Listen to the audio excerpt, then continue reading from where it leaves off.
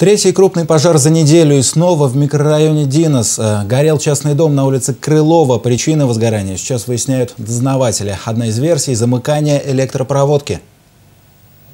Сигнал о возгорании поступил на пульт пожарной охраны в половину шестого вечера. Тушить огонь прибыли шесть экипажей. Пожару присвоили повышенный номер сложности. Пламя могло перекинуться на соседние дома. В доме в момент ЧП находились несколько человек. Они успели выбежать на улицу. Напомню, это уже третий крупный пожар за неделю. Не обошлось без человеческих жертв. Известно об одном погибшем и двух пострадавших.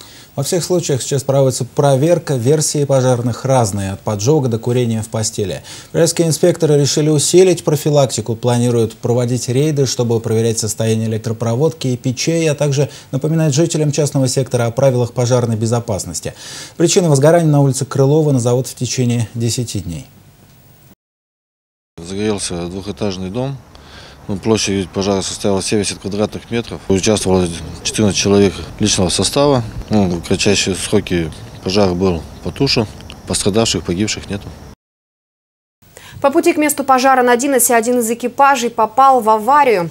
С мигалкой и сиреной десятитонная автоцистерна двигалась по кольцу, когда в нее врезался легковой автомобиль 12 модели. Женщина-водитель легковушки объяснила приехавшим сотрудникам ГИБДД, что просто не заметила пожарную машину. Удар пришелся в переднее колесо грузовика, на нем осталось только несколько царапин. А вот у легкового автомобиля помялся бампер и разбились фары. Никто из водителей и пассажиров в этой аварии не пострадал. Пожарные даже успели на вызов. Напомню, они ехали в микрорайон Динос тушить горящий дом.